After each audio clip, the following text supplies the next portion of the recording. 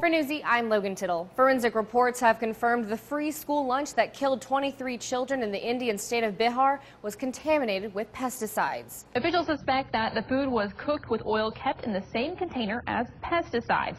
Pesticide levels were five times normal levels. The lunch was part of India's midday meal, one of the largest programs of its kind in the world. It covers 120 million children with the goal of tackling malnutrition while encouraging school attendance. The incident has sparked outrage and widespread complaints about food safety. Protests then erupted after the deaths of the children, some angry parents burying the bodies of their children and others and displaying them outside the school in protest.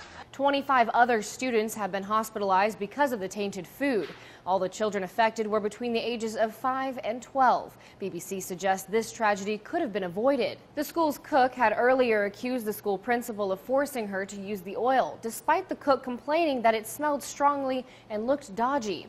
The principal is still at large. She is wanted on suspicion of criminal negligence. For Newsy, I'm Logan Tittle.